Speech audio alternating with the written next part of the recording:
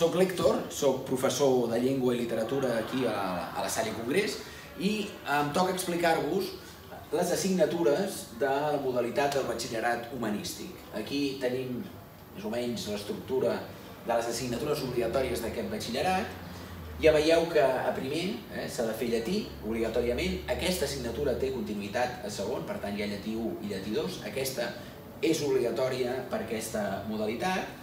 Després tenim història del món contemporani. La història del món contemporani a segon queda eh, substituïda per la història de l'art i tots els alumnes també hauran de cursar la literatura universal a primer, mentre que a segon hauran de triar entre literatura castellana i literatura catalana.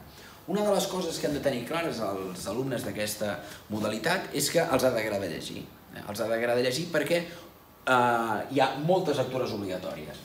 A literatura universal de primer hi ha sis lectures obligatòries i a segon, a més de les lectures obligatòries de la literatura que triguin, que també són sis lectures, hi ha dues lectures obligatòries de llatí.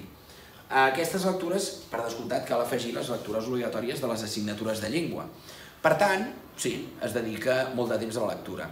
Però, si un ha triat aquesta modalitat de batxillerat, deu ser que té interès precisament a la lectura i en el coneixement humanístic. A part de les assignatures que són de modalitat, llatí, història món contemporani, literatura universal, llatí, història de l'art i una de les dues literatures, catalana o castellana, es poden triar dues assignatures, dues matèries específiques.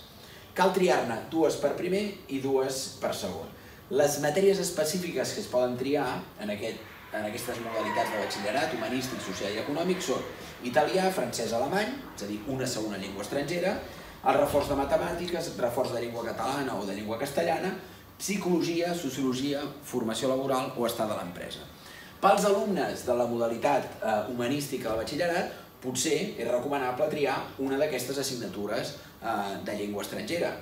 Cal tenir en compte que si un tria italià, francès o alemany, és una assignatura que dura dos anys. Eh? Té continuïtat des de primer fins a segon. Italià 1, italià 2. A aquesta assignatura eh, de llengua estrangera caldrà afegir-hi una altra matèria de, um, una altra matèria específica, que pot ser, doncs, per exemple, psicologia primer, sociologia segon, o bé a la inversa, formació laboral a primer i l'estada a l'empresa, en fi, que hi ha un, un ampli ventall uh, d'optativitat. Això fa que, més o menys, dintre de l'àmbit de les humanitats, un pugui fer-se un batxillerat més seu, eh? adaptar-lo uh, als seus interessos. Sempre tenint en compte, però, que el fet de triar un batxillerat humanístic eh, no fa més fàcil el batxillerat. Eh, al final, durant aquests dos anys, cal fer un esforç.